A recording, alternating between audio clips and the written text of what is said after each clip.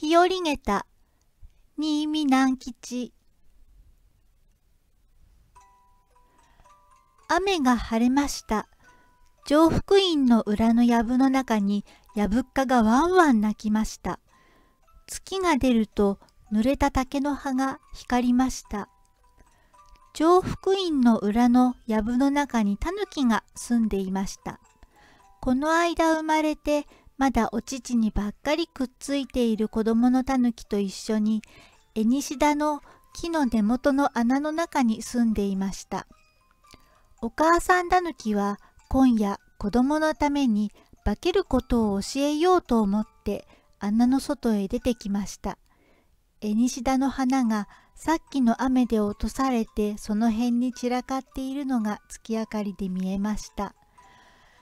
さあ坊や、もうお乳から離れなさいよ。子供のたぬきはそれでもお乳を吸っていました。さあさあ、お母さんが子供のたぬきのお腹に手をかけて離させようとしても、子供のたぬきの口はお乳についていました。いいかい坊や？なーに？坊や、何に化けたい？お月さんに化けたいの。そしてお空から見ていたいの。坊やおバカさんね、お月さんなんかには化けられませんよ。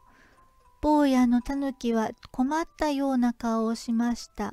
いやいや、お月さんでなけりゃいや。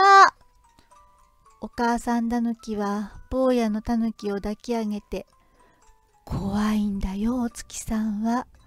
お月さんに化けたりするとね、本当のお月さんが怒って罰を当てるのよ。それではね、お母ちゃんが今、面白いものに化けてあげるから、待っておいでよ。お母さんたぬきは、子供のたぬきを下に下ろしました。さあ坊や、お目目をつむっていなさいよ。母ちゃんが、もういいよって言うまで。坊やのたぬきは言われた通り目を閉じたけれど、両手でしっかり母ちゃんの手をとらまえていました。坊やダメよ、母ちゃんの手を離さなくっては。だって母ちゃんいなくなるもの。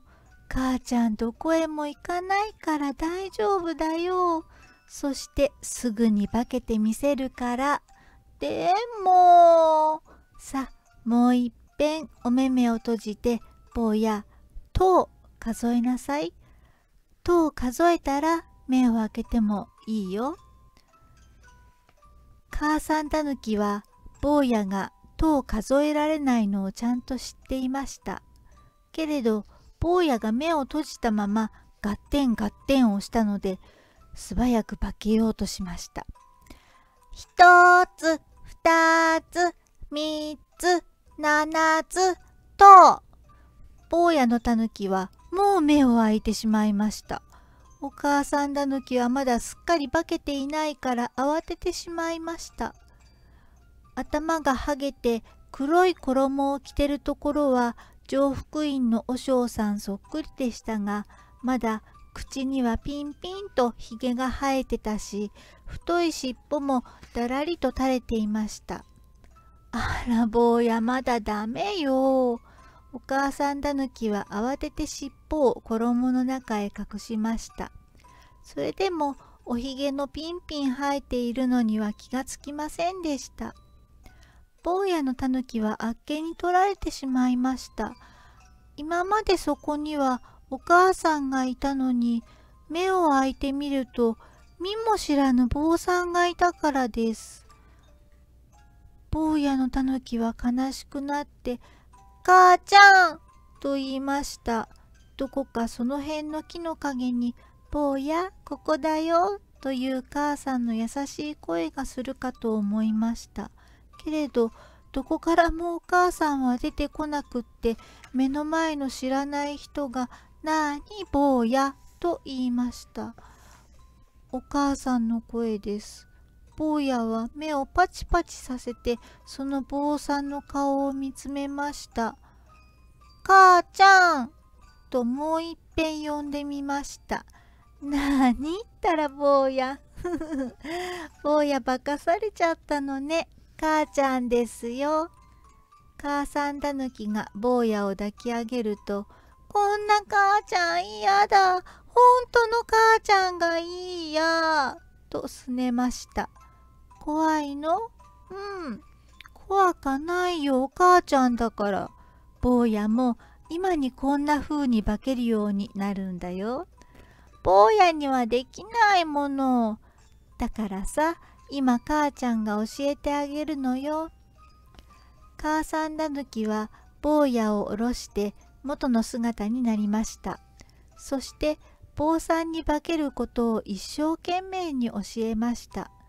けれど坊やのたぬきはダメでした。頭だけ上手に小僧に化けたかと思うと黒い手が2本ニョキッと出ていました。黒い手を白い手に見せるように教わった頃には衣の下に隠していた小さい尻尾がだらりと垂れ下がっていました尻尾が衣の下に巻き込まれた頃には耳がいつの間にか毛の生えたタヌキの耳になっていました。お母さんタヌキは困ってしまいました。ダメよ坊や。もっとよく覚えなくては。すると坊やは小さなあくびをして母ちゃん、もう眠い、と言いました。